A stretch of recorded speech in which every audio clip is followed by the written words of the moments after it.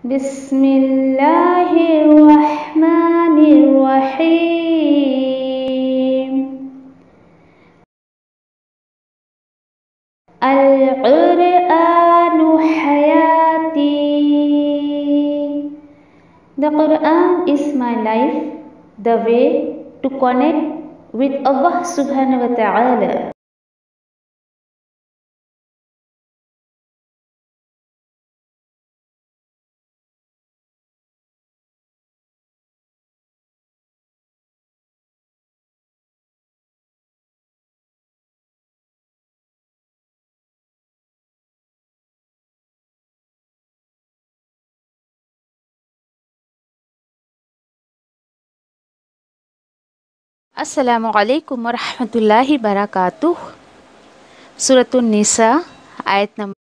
12 to 14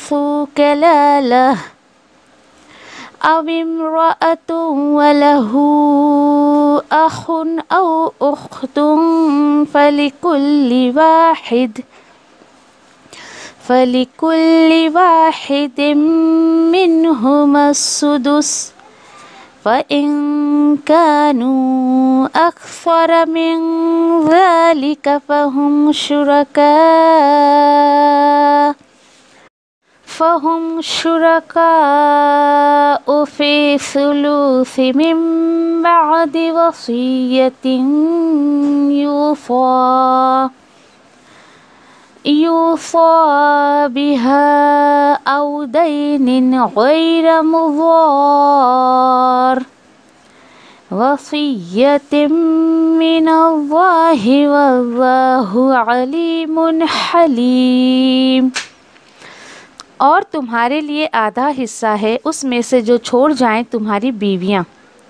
अगर ना हो उन्हें औलाद। यानी अगर बीवी ने कुछ प्रॉपर्टी छोड़ी है तो शौहर का जो है वो आधा हिस्सा होगा, अगर उसको औलाद ना हो तो। फिर अगर हो उन्हें औलाद तो तुम्हारे लिए, यानी हस्बैंड के लिए चौथाई हिस्सा वन फोर्थ पार्ट होगा। उसमें से जो छोड़ जाए बीवियाँ, ये प्रॉपर्टी कब मिलेगी? वसीयत पूरा करने के बाद जो वसीयत की गई है। और कर्ज़ की अदायगी के बाद। और उन बीवियों के लिए वन फोर्थ हिस्सा है, उसमें से जो छोड़ जाए उनके शौहर। अगर नहीं हो तुम्हें कोई औलाद, और अगर हो तुम्हें कोई औलाद, उन बीवियों के लिए तो वन एथ यानी कि आठवां हिस्सा होगा। उसमें से जो छोड़ जाओ तुम। वसीयत पूरी करने के बाद, जो तुमने वसीयत की है उसकी और कर्ज़ की अदायगी के बाद। और अगर हो कोई शख्स कलाला कलाला यानी जिसके माँ बाप भी नहीं हैं और बच्चे भी नहीं हैं। वारिस अगर उसकी विरासत तकसीम की जा रही हो तो कलाला की या ऐसी कोई ख़ातून या ऐसी कोई लेडीज़ है, चाहे वो मतलब कलाला मर्द भी हो सकता है और औरत भी हो सकता है तो अल्लाह ताला फरमाते वलहु अखुन व औ उख्तुन। और उसे एक भाई है और एक बहन है तो हर एक को, यानी उन दोनों को जो है वो दोनों को वन सिक्स पार्ट मिलेगा। फिर अगर हो, फिर अगर हो, उससे ज़्यादा भाई बहन यानी एक, दो से ज़्यादा अगर भाई बहन हो तो वो सब शरीक होंगे एक तिहाई, यानी वन थर्ड पार्ट में से वो सब पार्टनर बनेंगे। वसीयत पूरी करने के बाद ये सब डिस्ट्रीब्यूशन होगा, जिसकी वसीयत मरने वाले ने की है, या कर्ज की अदायगी के बाद। अल्लाह ताला फरमाते हैं, गैर मुज़र नहीं किसी का कोई नुकसान किया जाए। ये वसीयत अल्लाह ताला की तरफ़ से है और है अल्लाह हर चीज़ को जानता और अल्लाह सुबहान ताला बहुत तहमुल वाले हैं, बहुत बुरदबार हैं।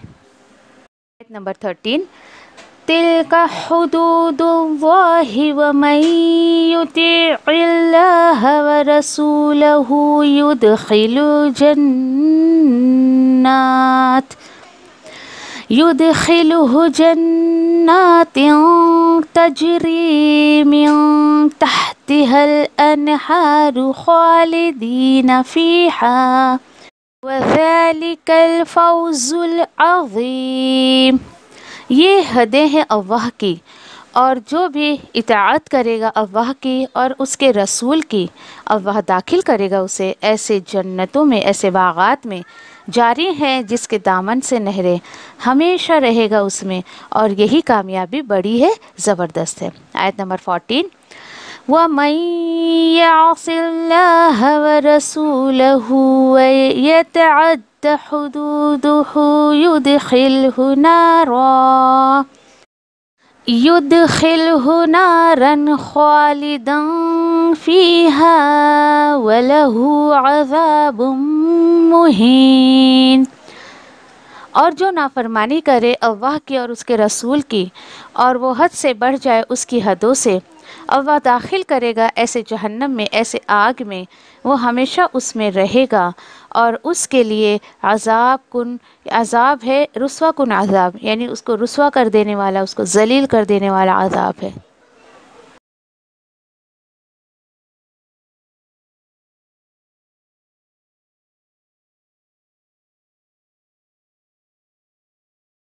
को है ऐसी सरसरी तौर पे एक बार जो है वो नज़र डालते हैं आयत पर, कि अल्लाह सुबहाना तला फरमा रहे हैं कि तुम्हारे अल्लाह ताला जो है तुम्हें वसीयत करते तुम्हारी औलाद के बारे में।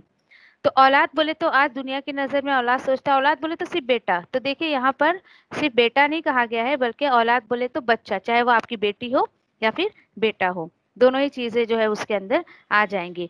फिर क्या है कि बेटे के लिए हिस्सा है जैसे जैसे बराबर दो बेटियों का। यानी जितना आपकी बेटी को मिलेगा, उसका दुगना जो है वो बेटे को मिलेगा। ठीक है? अब देखिए कि यहाँ पर जैसे कि अल्हम्दुलिल्लाह ये बात तो अपनी क्लियर हो गई कि बेटे का यानी अगर समझिए कि एक बेटा, एक बेटी है तो आपके जो है वो बेटी को जितना ही जितना भी हिस्सा मिलेगा प्रॉपर्टी में से, उसका जो है वो डबल बेटे को मिलेगा।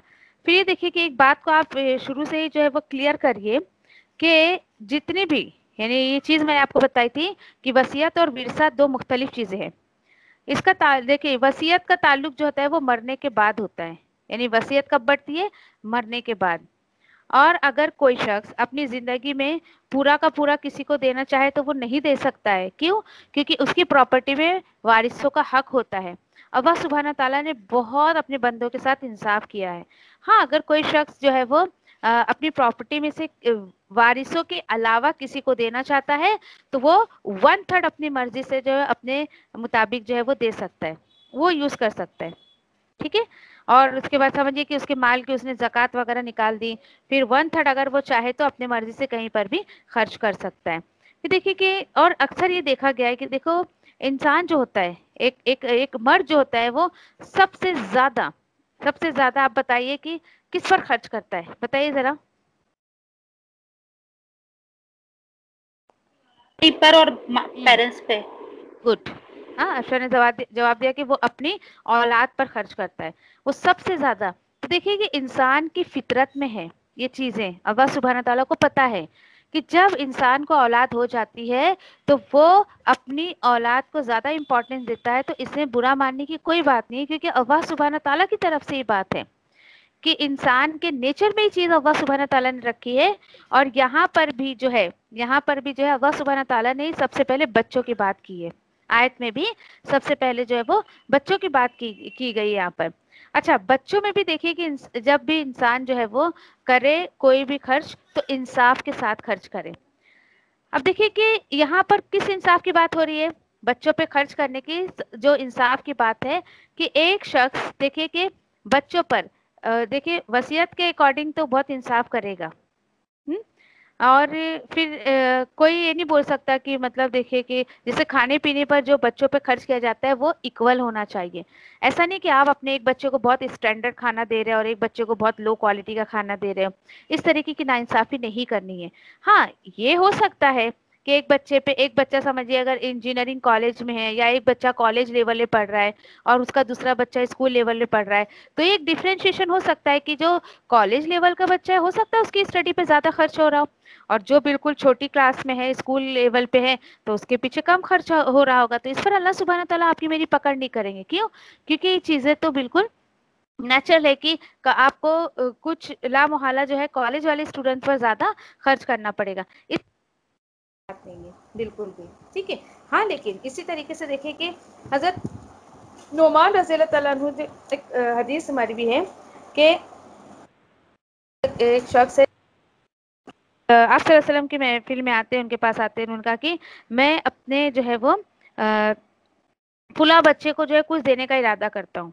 बस ऐसे एक बहुत हदीस का मफहूम है। बिल्कुल आपको मैं वटवर्ड नहीं बता रही हूँ। मफहूम है उसका ये और कि आप ने पूछा उसे कि तुम बाकी बच्चों को क्या दे रहे हो? तो उन्होंने कहा, नहीं, मैं उसी बच्चे को सिर्फ़ ये मेरा दिल करता है कि दूँ। तो अल्लाह नबी करीम वसल्लम ने फरमाया कि अल्लाह से डरो और देना है तुम्हें तो सबको दो और नहीं देना है तो उस, किसी को मत दो, उससे भी वापस ले लो। इस तरीके से। हाँ? और और जब वो यानी कि नबी करीम सल्लल्लाहु अलैहि वसल्लम ने उनसे ये कहा कि मैं झूठ या जालिम पर गवाह नहीं बनता हूँ। यानी वो किस, दे रहे थे अपने बच्चे को कुछ और नबी करीम सल्लल्लाहु अलैहि वसल्लम को गवाह बना रहे थे। तो यानी इस तरीके की बातें देखिए कि बिल्कुल भी इंसान अगर इंसान अपने बच्चों को भी कुछ दे तो वो इक्वली दे, और ना, और नहीं देना इक्वल तो कुछ भी ना दे, इस तरीके की जो है वो, उस आयत का मफहूम नबी करीम सल्लल्लाहु अलैहि वसल्लम का जो सॉरी उस हदीस का मफहूम जो है वो ये निकलता है। समझ गए ना आप? यानी समझिए कि छोटे बच्चे को छोटा कपड़ा लगेगा तो उसके उसको कम पैसे में आ रहा है। एजुकेशन में भी इस तरीके का जो रेफरेंशिएशन हो सकता है। ठीक है? तो उसके बाद देखिए कि कुछ लोग जो ऐसा बोलते हैं कि क्या, कि पेरेंट्स को क्या देने की ज़रूरत है, उनको क्या खर्चे है, ऐसा वैसा। तो नबी करीम सल्लल्लाहु अलैहि वसल्लम के हुजूर में एक शख्स आता है और अपने माँ बाप की शिकायत करता है। अब वो शिकायत करता है तो नबी करीम सल्लल्लाहु अलैहि वसल्लम की मेरा बाप मुझसे माँगता है माँगता है माँगता है और ऐसा नहीं लाइक जैसे कि आजकल है ना, कुछ बच्चे जो है पेरेंट्स पे खर्च करना नहीं चाहते हैं। तो नबी करीम सल्लल्लाहु अलैहि वसल्लम ने उसको कहा कि तू और तेरा माल, दोनों जो है वो तेरे पेरेंट्स के हैं। यानी अगर तेरे पेरेंट्स तेरे माल को जिस तरीके से चाहे उसको इस्तेमाल करे। अल्लाह सुबहाना ताला देखिए, बहुत ज़्यादा जो है वो इंसाफ वाले हैं। फिर उसके बाद देखिए कि यहाँ पर जो सबसे पहले, फिर उसके बाद अल्लाह सुबहाना ताला ने कहा कि अगर दो बेटियाँ हैं तो दो बेटियाँ हैं अगर हाँ दो पहले एक बेटी का हो गया। फिर अगर हो बेटियाँ कितनी, दो से ज़्यादा तो उनके लिए टू थर्ड होना चाहिए। टू थर्ड होना चाहिए इन द सेंस कि यानी कि उसकी प्रॉपर्टी का जो है वो टू थर्ड पार्ट जो है वो निकाला जाएगा और उसमें से फिर बेटियों को दिया जाएगा। टू थर्ड पार्ट जो है निकाल कर उसमें से बेटियों को दिया जाएगा और अगर एक ही बेटी होगी एक ही बेटी होगी ये तीसरी कंडीशन है। तो उस बेटी को यानी उस बाप की प्रॉपर्टी का आधा हिस्सा दिया जाएगा। अच्छा ये सब कैसा है कि जैसे कि अगर उसने कोई वसीयत की है तो वन थर्ड पार्ट पहले निकाल दिया जाएगा। एक तिहाई में से उसने जो वसीयत किया होगा कि हाँ फुला को दे देना, मेरे ये रिश्तेदार को दे देना और मस्जिद में दे देना, मेरे ये नेक कामों में दे देना, इधर दे देना, उधर दे देना। इस तरीके की अगर मरने वाले ने वसीयत की है तो उसकी प्रॉपर्टी का वन थर्ड हिस्सा जो होगा, उसमें से दिया जाएगा। हाँ लेकिन वन थर्ड जो हिस्सा दिया जाएगा, वसीयत का, उसमें उसमें से दिया जाएगा। बाकी जो बचेगा वो वारिसों में से, अगर उसके, यानी बच्चे हैं तो बच्चों को देने के बाद। अब पेरेंट्स की बारी आएगी। उसमें जो बचेगा, उसमें से अब पेरेंट्स को दिया जाएगा। और पेरेंट्स के लिए पेरेंट्स में कौन आते हैं? माँ बाप दोनों। तो माँ बाप दोनों को जो है, एक एक छठा हिस्सा जो है वो दिया जाएगा। यानी एक छठा हिस्सा वन सिक्स पार्ट जो है वो माँ बाप को दिया जाएगा। किस सूरत में? ध्यान से सुनिए। अगर उसके बच्चे भी हैं माँ बाप भी हैं तो बच्चों को तो हमने देख लिया कि बेटियों को जो हिस्सा मिलेगा, उसका दुगना बेटे को मिलेगा। इस तरीके की बात जो होगी, इस तरीके का रेशो होगा। अच्छा बच्चे हैं पेरेंट्स भी है तो पेरेंट्स को जो है वो वन सिक्स पार्ट दिया जाएगा माँ बाप दोनों को भी। फिर अगर नहीं हो कोई औलाद, मरने वाले की कोई औलाद नहीं थी तो अल्लाह तला बता रहे वरिसहू अबवाहू। तो उसका वारिस हुँ? उसका वारिस उसके अब्बा होंगे। यानी उसकी प्रॉपर्टी का जो वारिस है, उसके उसके वालिद होंगे। अब वालिद तो है पूरी प्रॉपर्टी के हकदार, लेकिन उसकी मम्मी को जो है वो कितना मिलेगा? मैयत की मम्मी को वन थर्ड पार्ट देखिए, बच्चे ना होने की सूरत में पेरेंट्स का रेशो बढ़ गया ना पेरेंट्स को थोड़ा ज़्यादा मिलेगा, बच्चे नहीं होने की सूरत में। अच्छा बच्चे नहीं है और माँ बाप हैं तो अल्लाह ताला बोल रहे हैं, उनके भाई बहनों को भी हिस्सा दिया जाएगा। कितना दिया जाएगा? वन सिक्स पार्ट किया जाएगा और जितने भाई बहन है उन सबको बांट दिया जाएगा। अब उसमें भी अब अब यहाँ देखिए कि जहाँ भाई बहन की बात आई है ना तो ये नहीं कहा कि बहन को इतना दो भाई को उतना दो नहीं। बल्कि भाई बहन सबको बराबर दिया जाएगा। देखिए कितनी इंसाफ की बात है अल्लाह सुबहाना ताला की तरफ़ से। अच्छा ये बात कब होगी सारे? ये जो जितने भी अल्लाह सुबहाना ताला ने जो है वो बात बताई है तो कब होगा वो? देखिए, आयत में तो दिया है कि पहले जो वसीयत उसने की है, उसको सब दे दिला दो। उसके बाद उसका जो कर्ज वगैरह है, उसको अदा करो। अब जो माल बचेगा, फिर बाट बच्चों से शुरू होगी। अब देखिए कि ऐसा क्यों? ये तो है यहाँ पे, लेकिन नबी करीम सल्लल्लाहु अलैहि वसल्लम की एक हदीस मुबारक के मुताबिक नबी करीम सल्लल्लाहु अलैहि वसल्लम ने क्या फरमाया? पहले मैयत का कर्ज अदा करो। मैयत का कर्ज अदा करो। देखिए कि क्यों मालूम? देखिए, हर मैयत जो है वो मकरूज होता है। मकरूज होता है यानी हर इंसान जो है, मरने वाला जो है, इल्ला माशाल्लाह, मैं ये नहीं कहती हूँ कि सारे लोग, लेकिन अक्सरियत ये देखी गई है कि इंसान किसी न किसी कर्ज में डूबा होता है।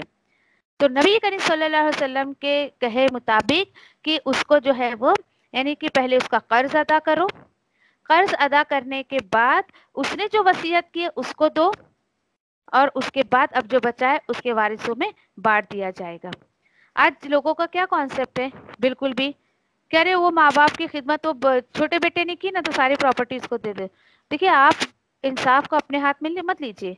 अल्लाह सुबहाना ताला ने जो इंसाफ हमें बताया है, उसके अकॉर्डिंग इंसाफ करिए।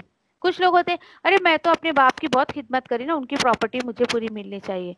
ठीक है, वो अलग चीज़ है, लेकिन प्रॉपर्टी का, विरासत का, खिदमत से कोई ताल्लुक नहीं है। कोई सोचे कि मैं जो है वो उस, वो वो अम्मी मुझे बहुत प्यार करती थी, उनके कंगन मुझे दे देना जब वो मरेंगी तो। ऐसा नहीं होता है। यहाँ तक कि सुई धागे का भी, अगर मरने वाले का सुई धागा है तो वो भी उसके बच्चों में बराबर बांटा जाएगा। अगर आप चाहते हैं कि कयामत के दिन आप अब्बा के सामने रुसवा ना हो तो इस तरीके का मामला मत करिए कि जो लोग करते हैं। यकीन करिए, ये आयते जब ऐसी कुछ मसला होता है, क्योंकि अल्हम्दुलिल्लाह, जैसे कि बहुत करीब करीब से ऐसे कुछ लोगों को जानते हैं, जब ऐसे मसले आते हैं और वो लोग, जैसे एक एक मसला हो गया था, पेरेंट्स नहीं है अब अल्हम्दुलिल्लाह काफ़ी प्रॉपर्टी है पेरेंट्स की भी ये वो। अब उन्होंने जो भाई भाई लोग उनके जो है सब मतलब प्रॉपर्टी बांटने पर आए तो वो तो बिल्कुल आयतों के अकॉर्डिंग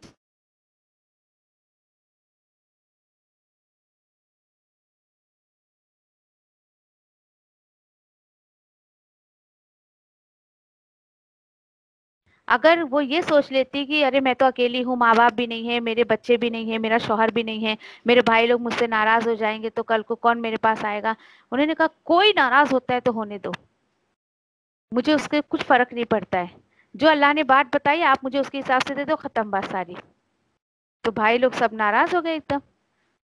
ये होती है, देखिए, जब अल्लाह का कलाम आपको समझ आता है तो बंदे के अंदर धारस आ जाती है, एक गट्स आ जाती है अगले से बात करने के लिए।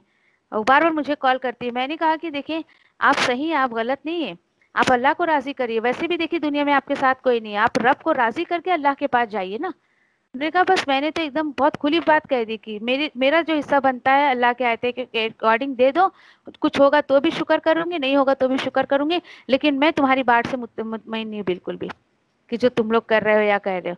मतलब वो अपने साथ ही नहीं, और भी बहनें उनकी, उस हिसाब से थोड़ा वो हक मांग रही थी ऐसा। तो देखिए इतना मुसलमानों ने अपने हिंदुओं की तरह जो एक सोच बना ली है कि बेटियों को क्या देने का हक बहनों को क्या देने का, उनको हमने शादी में दहेज वगैरह दे दिए ना, अभी कुछ नहीं। तो देखिए, दहेज वगैरह का जो है वो विरासत से कोई ताल्लुक नहीं उसका। कोई ताल्लुक नहीं ऐसा लगता है तुम्हें तो शादी से पहले सब बांट बुट के खत्म करो। उस बच्ची के हिस्से में जो आता है उसको दो। अब आप ये कहो कि उसको आपने जो है उसकी ज़रूरत की चीज़ें दे दी, उसको आपने जहेज वगैरह दे दिया और आप कहो कि उसका हक दे दिया तो ये बहुत गलत बात है, बहुत ही गलत बात। देखिए, लोगों के डर से ना इंसाफ की बात करना मत छोड़िए, ठीक है इनशाला फिर उसके बाद जो है आयत का अगला हिस्सा, अल्हम्दुलिल्लाह यहाँ तक हो गया हमारा। अब अल्लाह तला बोल रहे हैं कि तुम्हें नहीं पता है कि तुम्हारे बाप, दादा या तुम्हारे बच्चे कौन ज़्यादा करीब है कि तुम्हें नफ़ा पहुँचाए मरने के बाद। तो अलहमदिल्ला इस बात पे हमारा काफ़ी डिस्कशन हो गया अभी। तो वाकई हमें नहीं पता है वाकई, हम बच्चों को इतना करीब समझते हैं और क्या पता कि हमारे मरने के बाद हमारे बच्चे हमारे लिए सदका जारिया बने या ना बने। हम पेरेंट्स को इतना डी वैल्यू करते हैं, लेकिन क्या पता कि अल्लाह ताला उन्हें ही हमारे लिए हम उनसे पहले अगर चले गए तो अल्लाह ताला उन्हें ही हमारे लिए सदका जारिया बना दे। तो देखिए, इंसान को, इंसान अल्लाह की हिकमत को अपनी छोटे से मगज में नहीं ले सकता है। तो इसे अल्लाह ताला बोलते हैं कि जो तुम्हारे साथ होता है, उस पर राज़ी रहो। मैं जो तुम्हारे साथ करता हूँ उस पर राज़ी रहो और बिल्कुल भी मेरी हिकमत को तुम समझ नहीं सकते हो कि मैं क्या करना चाहता हूँ या मैं क्या करता हूँ बंदों के साथ। तो देखिए कि अल्लाह की हिकमत हमारे छोटी सी खोपड़ी में नहीं आने वाली है तो फिर हमारे पास कोई भी रास्ता नहीं है सिवाय ये कि अल्लाह सुबहाना ताला का हुक्म हम मानते रहें। अल्लाह ताला क्या बता रहे थे? वलकुम निस्फ अब करीबी रिश्तेदार में बच्चे हो गए पेरेंट्स हो गए और बच्चे नहीं होने की सूरत में जो है वो भाई बहन हो गए। अब कौन बचा? अब कौन बचा? बताइए।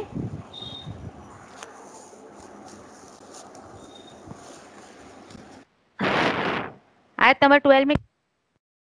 और तुम्हारे लिए तुम्हारे लिए आधा है जो छोड़ जाए तुम्हारी ये लकुम ये कुम मुझे बता तुम्हारे जोड़े। अच्छा जी मर्दों से मुखातिब अल्लाह तआला आयत नंबर ट्वेल्व में सूर्य निसा में। कि मर्दों के शोहरों के लिए हिस्सा है उनकी बीवियों में से, अगर उनकी बीवी छोड़ जाए, निस्फ आधा। आधा किस सूरत में होगा? इल्लम यकुल्लहुन्न वलद। अगर नहीं हो उनकी कोई भी औलाद। किसकी? अगर समझने वाली औरत की कोई भी औलाद नहीं थी तो शौहर को जो है बीवी के माल में से आधा हिस्सा मिलेगा। अब आप सोचोगे, ओहो, बीवी के पास ही माल रहता है। तो मैं समझती बीवियों के पास ही माल रहता है। शौहर कमा कमा के बीवियों को ही देते हैं। शौहर बेचारे तो रखते भी नहीं इतना जितना बीवी के पास रहता है। और वो मरी तो शौहर का ही है, आधा तो है ही। आधा की सूरत में अगर उसको बच्चे नहीं है। अब देखिए कि बीवी का अपना जाति माल उसके इंतकाल के बाद, ध्यान से सुनिए। बीवी मरी, उसका पर्सनल जितना कुछ था, वो अल्लाह सुबहाना ताला ने कहा कि इंतकाल के बाद ऑटोमेटिकली शोहर का हो गया वो। हाँ? और देखिए कि उसके साथ साथ सबसे, और जीते जी सबसे ज़्यादा लड़ाई, इला माशाल्लाह मैं सारे जोड़ों को ये नहीं कहती, अक्सर ये जोड़े जो होते हैं वो पैसे पर ही झगड़ा होता है उनका। जीते जी। बीवी के पास है तो शोहर को देने को तैयार नहीं होती। तो अल्लाह तला बोल रहे हैं, तुम मरोगी तो आधा तो वैसे ही तुम्हारे शोहर को मिल जाएगा तो जीते जी दे दे दो ना। क्या ज़रूरत है इतना जीते जी लड़ाई झगड़ा करने की? फिर उसके बाद देखिए कि आप सोचोगे कि बीवी के पास कहाँ से माल आता है? तो देखिए कि उसको माँ बाप के विरसे से मिला, वो उसके पास जमा है। महर के पैसे उसको जेवरात की सूरत में, सोने की सूरत में नहीं गोल्ड वगैरह, अमाउंट कुछ भी मिलता है उसको। हो सकता है कोई औरत जॉब वगैरह, सर्विस वगैरह करती हो, समझे? तो यानी कि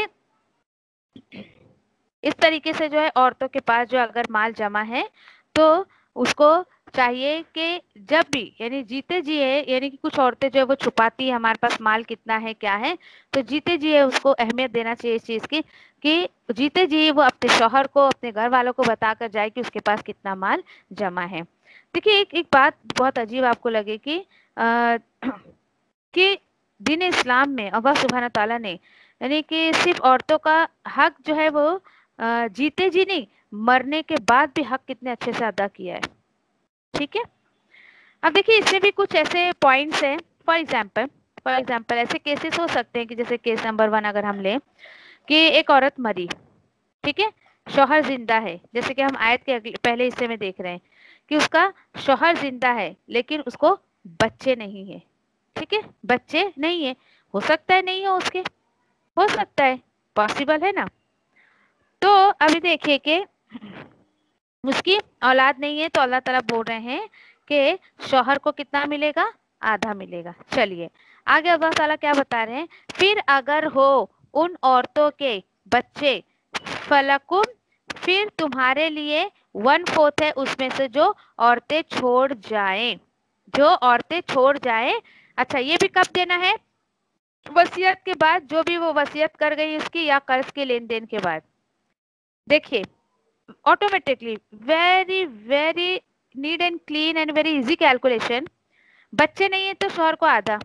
अब बच्चे आ गए तो डेफिनेटली ना शोहर का हिस्सा कम हो जाएगा ना। तो आप निस्फ का और और हाफ़ कर दीजिए, यानी हाफ़ का हाफ़ वन फोर्थ आ गया। तो अगर उसके बच्चे हैं अच्छा फिर ये सवाल आता है कि देखिए, उस औरत के, ज़रूरी नहीं है कि उसी शोहर से बच्चे हो। मे भी दूसरी शादी करी होगी, पहले शोहर से ही बच्चे होंगे इन एनी कंडीशन उसके बच्चे उस शोहर से रहने दो या किसी भी शोहर से रहने दो। है ना उसके बच्चे? तो उसकी प्रॉपर्टी में से उसके बच्चे का भी हक रहेगा। आप ये मत सोचिए कि वो मतलब वो वो बच्चा तो शोहर के साथ नहीं रहता था। अभी फ़िलहाल जिस शोहर को प्रॉपर्टी उस औरत की दी जाती है या जिसकी अभी जौजियत में है वो नहीं। ऐसा नहीं है। वो बच्चा किसी भी शोहर से रहने दीजिए। उस बच्चे को उसकी माँ की प्रॉपर्टी में से डेफिनेटली जो है वो हक मिलेगा। ठीक है? तो बच्चे होने की सूरत में वन फोर्थ अच्छा फिर आपको, अब आपको क्वेश्चन आ रहा है, ओहो, बच्चे को कितना मिलेगा? आ रहा है किसी के जहन में क्वेश्चन कि बच्चों को कितना मिलेगा? बताइए जरा। आप लोग अनम्यूट करने के लिए इतना टाइम क्यों लगाती है? आपके जहन में सवाल आ रहा है कि बच्चे को कितना मिलेगा? बताइए जरा। बच्चे को आधा मिलेगा ना आपा नहीं। कोई सही जवाब देगा? बच्चे को कितना मिलेगा? One third no one third नहीं मिलेगा।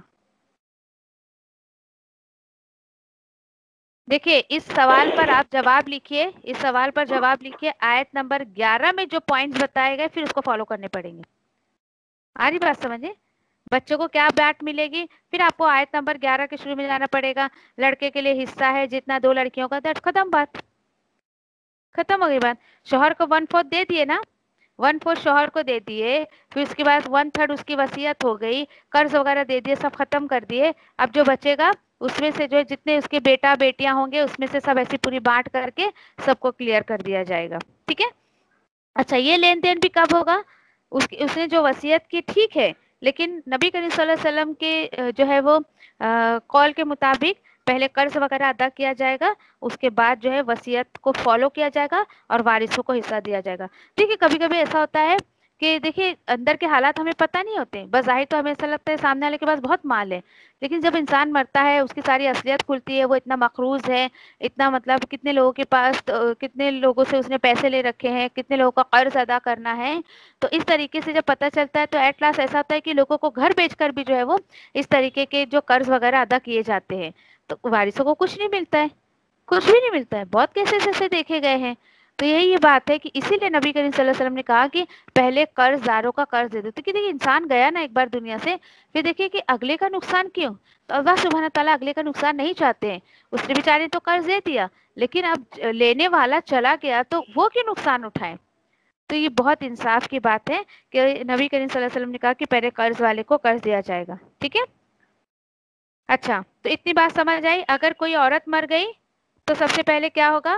कर्ज दिया जाएगा। वसीयत अदा की जाएगी शोहर को हिस्सा मिलेगा देन नंबर फोर बच्चों को हिस्सा मिलेगा। ये इतना आप जो है वो ए, ए, अच्छे से इतना पॉइंट याद रखिए। अच्छा अब उसके बाद चलिए आयत का अगला हिस्सा अल्लाह सुबहान ताला क्या बता रहे और उनके लिए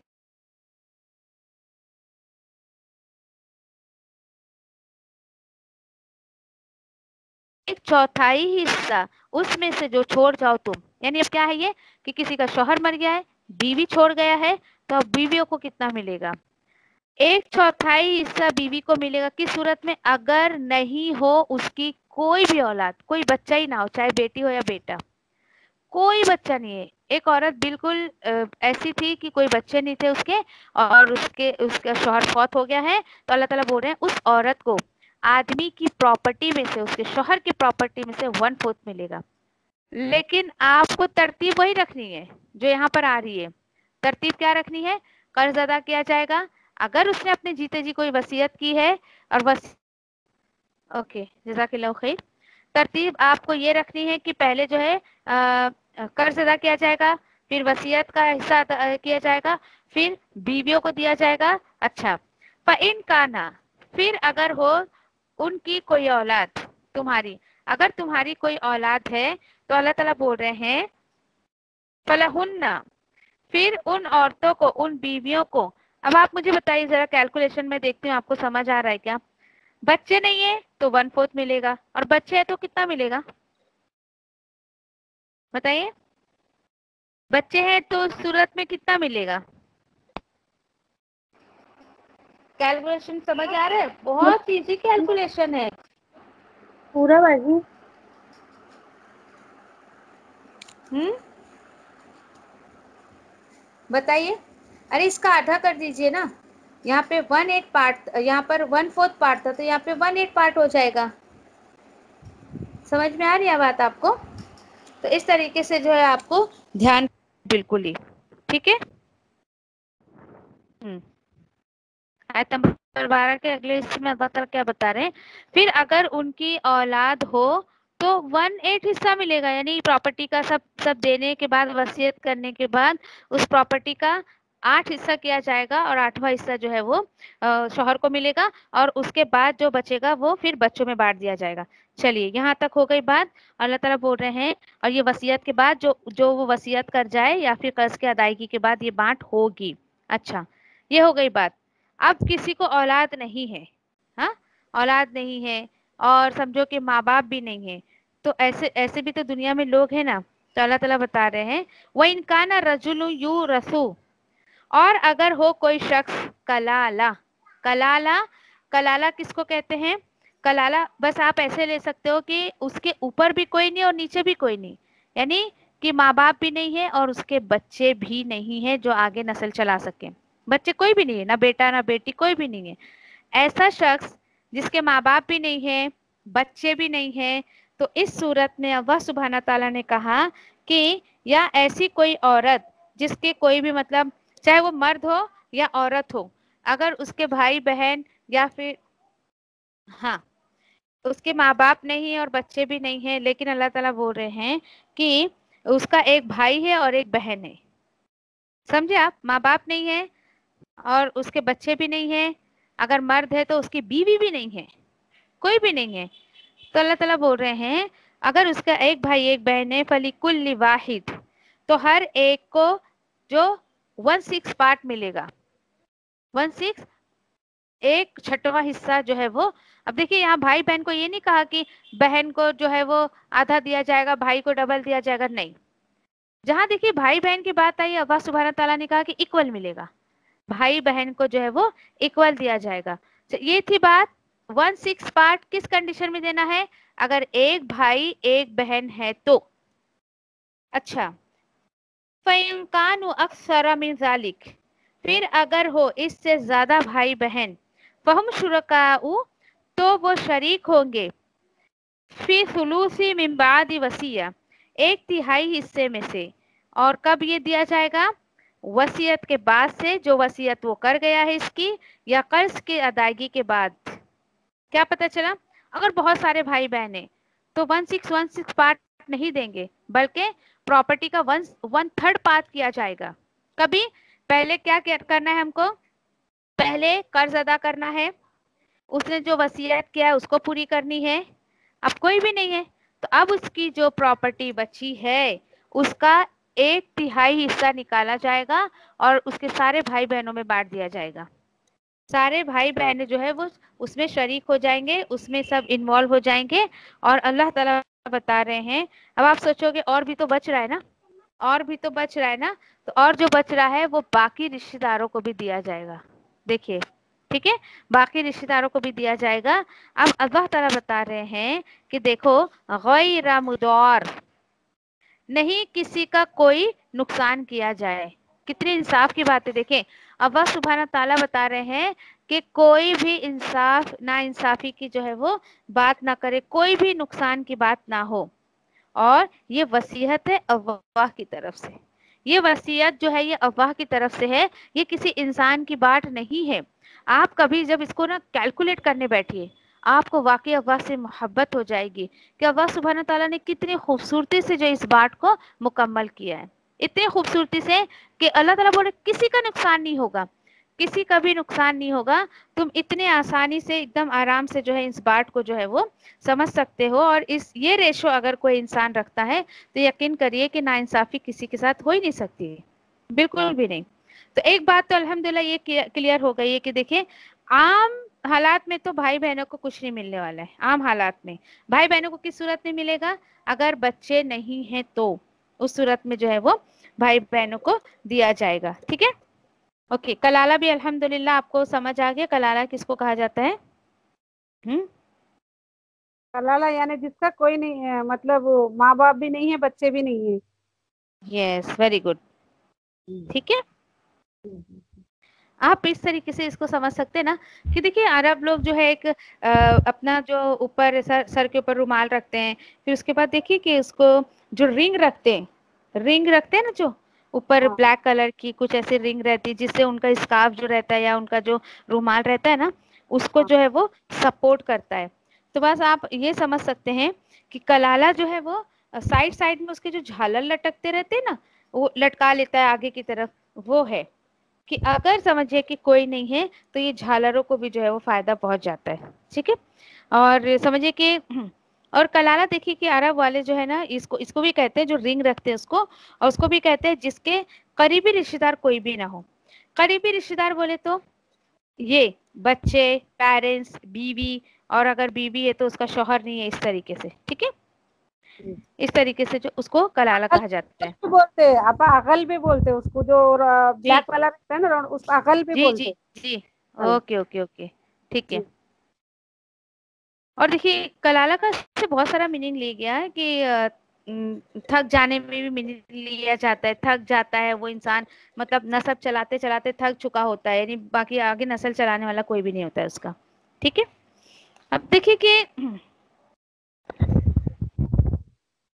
अब देखिए कि कभी कभी ऐसा होता है कि अगर औरत भी कलाला हो सकती है, एक औरत अगर समझिए कि उसने जॉब वगैरह करती है और बहुत पैसे भी कमाती है, मर्द और औरत भी हो सकते हैं ऐसा, लेकिन वो शादी नहीं करते। अब देखिए कि शादी नहीं किया उन्होंने, पैसा जमा किया उन्होंने, शादी नहीं की उन्होंने, बाप का भी इंतकाल हो गया है और यानी अपनी ज़िंदगी में यानी ऐसा कि तो इस तरीके की भी जो है वो लोग कलाला होते हैं तो क्या करे? तो इस सूरत में उनके करीबी रिश्तेदार नहीं है तो दूसरे जो रिश्तेदार है उनमें उनका माल जो है वो बांट दिया जाएगा। ठीक है? ये ये आपा सिर्फ़ मोमिन के लिए है ना? ये मोमिन के लिए है। देखिए हर उस शख्स के लिए है जो कुरान को फॉलो करे। जी जी जो कुरान को फॉलो करे। और देखिए जो अल्लाह सुबहान ताला के अहकामात को मानेगा तो वही तो फॉलो करेगा ना इसको आसानी से। जी जी जी आ गई जी। बात समझे हाँ। जी जी जी। फिर उसके बाद हाँ ठीक है इतनी बात हो गई अल्हम्दुलिल्लाह। फिर देखिए कि जी आप हमारे सामने ना पालघर में एक आंटी है तो। उनके बच्चे नहीं है चार महीने में उनके शोहर का इंतकाल हो गया तो वो गवर्नमेंट जॉब करती थी। अभी पेंशन मिलती है उनको तो मैं जब भी जाती हूँ बोलती ये जो भी कुछ है मेरे भाई के लड़के का है मेरे भाई के लड़के का है। अच्छा। मैं बोली अच्छा मैं आयत पूरी कर लो आयत पूरी कर लो फिर मैं आपसे बात करती हूँ इंशाल्लाह। ठीक है? इंशाल्लाह हाँ। ठीक है? अब देखिए कि एक हदीस है नबी करीम सल्लल्लाहु अलैहि वसल्लम का कॉल है उसका मफहूम मैं आपको बताती हूँ कि अल्लाह सुब्हान ताला नबी करीम सल्लल्लाहु अलैहि वसल्लम फरमाते हैं कि बेशक अल्लाह ताला ने हर हकदार का उसका हक दे दिया है। सुबहान अल्लाह बहुत खूबसूरत बात है। लिहाजा कोई भी वसीयत नहीं है वारिस के लिए जो मैं आपको बता रही थी बात कि कोई भी वसीयत वारिस के लिए नहीं है। यानी वसीयत जो वन थर्ड की, की की जाती है उसमें से वारिसों को कुछ भी नहीं दिया जाएगा। और देखिए कि अल्लाह सुबहान ताला ने ये कानून बहुत हिकमत के तहत बनाया है बहुत ही हिकमत के तहत। इसीलिए तो देखिए यहाँ पर इनशाला जो है आयत का जो अगला हिस्सा है अल्लाह ताला बता रहे हैं वल्लाहु अलीमुन हलीम। तो अल्लाह सुबहान ताला ने ये कानून बहुत हमत के तहत बनाया है, बहुत तहमुल के साथ बनाया है और कैसे इल्म के साथ बनाया है। यहाँ देखिए कि आप में से कोई बताएगा मुझे कि अल्लाह सुबहान तला की ये सिफत क्यों आई है? वल्लाहु अलीमुन हलीम। कि अल्लाह ताला जो है वो हर शय का हर शय को जानता है और बहुत तहम्मुल वाला है, बहुत बर्दाश्त करने वाला है। क्यों अल्लाह सुबहान ताला के बारे में ये बात यहाँ पर आई है? अल्लाह सुबहान ताला की ये सिफत क्यों आई है? बताइए, क्या वजह हो सकती है?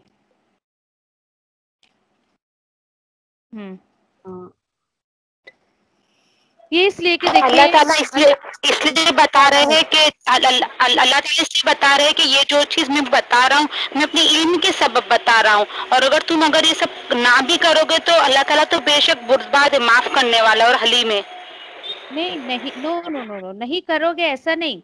इंसान करता नहीं है, फिर भी अल्लाह सुबहाना ताला उसकी पकड़ नहीं करते हैं। इसलिए अल्लाह सुबहाना ताला का यहाँ पे ये जो आया है कि तुम इतने नाइंसाफी मेरी करते हो, लेकिन तुम्हारी देखो कि नाइंसाफी पे मैं तुम्हें दुनिया में पकड़ नहीं रहा हूँ। मेरे बर्दाश्त को तो देखो, हमारे सामने कोई हमारे मुखालिफत में एक काम करता है किस कदर गुस्सा आता है? लेकिन अल्लाह सुबहाना ताला बहुत बुरबार हैं, बहुत बर्दाश्त करते हैं कि उनके बंदे इतनी नाफरमानियाँ करते हैं, फिर भी अल्लाह सुबहाना ताला जो है उनकी पकड़ नहीं करते। फिर देखिए कि इतना कानून, अल्हम्दुलिल्लाह की दो आयत थे, लेकिन किस कदर इसमें अहकाम बताए गए हैं। इतना कानून पढ़ने के बाद अल्लाह सुबहाना ताला क्या बोल रहे हैं? तिल का हुदूदुल्लाह।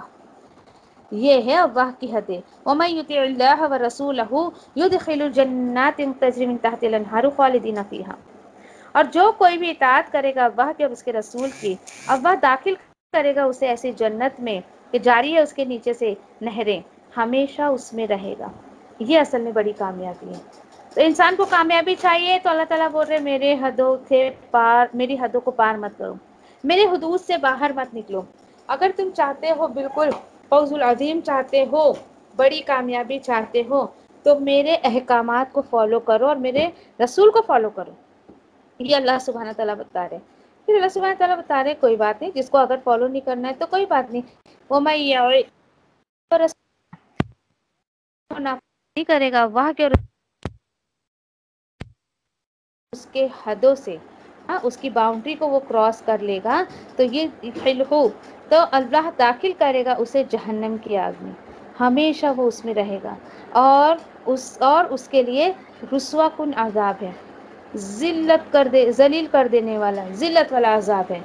ना इट्स योर चॉइस दोनों आयतों में अल्लाह सुबहान ताला ने हमारे फ़ायदे की और हमारे नुकसान की बात की है कि तुम अल्लाह उसके रसूल की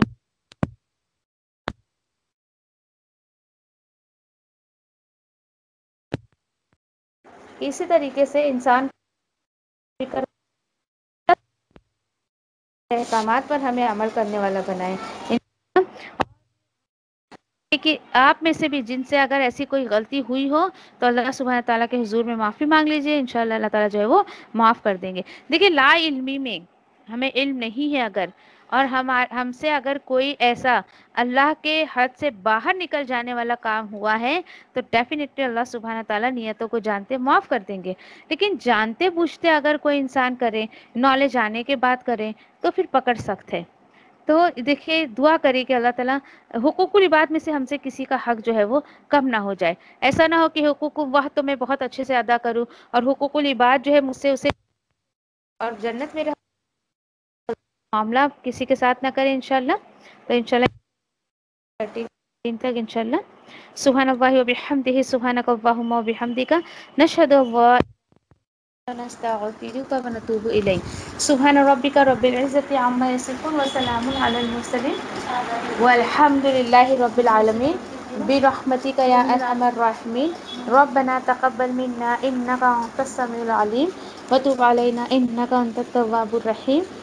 आमीन या रब्बल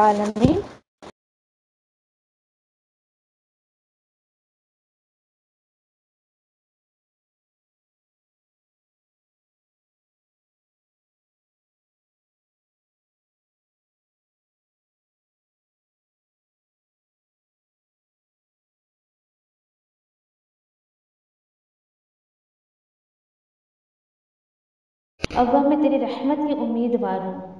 फिर मुझे एक लम्हे के लिए भी मेरे नफ्स के हवाले न कर और मेरे सब हालात संवार दे, क्योंकि तेरे सिवा कोई मबूद नहीं है। अल्लाह मैं तुझसे नफ़े बख्श, इल्म, पाकिज़ा रिस्क और कबूल होने वाले अमल का सवाल करती हूँ। अल्लाह मुझे फ़ायदा दे उसके साथ जो तूने मुझे सिखाया है और मुझे सिखा जो मेरे लिए फ़ायदेमंद हो और मेरे इल्म में इजाफ़ा फरमा दे। आमीन। अल्लाह मेरे गुनाहों को बख्श दे। मेरे घर में वसत फरमा और मेरे रिज्क में बरकत अता फरमा। अल्लाह मुझ पर मेरे बुढ़ापे के करीब और मेरे उम्र के ख़त्म तक अपना रिस्क कुशादा कर रखना।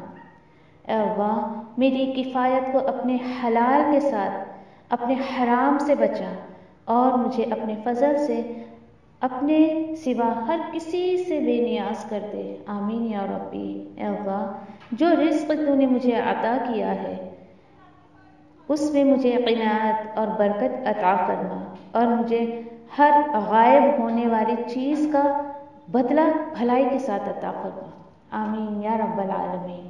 अल्लाह, कोई काम आसान नहीं, मगर जिसे तू आसान कर दे। और जब तू चाहता है, मुश्किल को आसान कर देता है। तेरे अब्बा, इन दुआओं के साथ मैं तुझसे दुआ करती हूँ कि तेरी किताब को समझना हम पर आसान कर दे। तेरी किताब को समझ कर उस पर अमल करना हमारे लिए आसान कर दे। इन आमीन। या रब्बल आलमीन। सुबहान अल्लाह व बिहम्दी सुबहानक अल्लाहुम्मा व बिहम्दिका नशहदु ला इलाहा इल्ला अंता नस्तगफिरुका व नतूबु इलैक सुबहान रब्बिका रब्बिल इज्जति अम्मा यसिफून व सलामुन अलल मुरसलीन वल्हम्दुलिल्लाहि रब्बिल आलमीन बिरहमतिका या अरहमर राहिमीन रब्बना आतीना फिद दुनिया हसना व फिल आखिरति हसना व क़िना अज़ाबन्नार रब्बना तक़ब्बल मिन्ना इन्नका अंत समीउल अलीम व तुब अलैना इन्नका अंत तव्वाबुर रहीम आमीन या रब्बल आलमीन वस्सलामु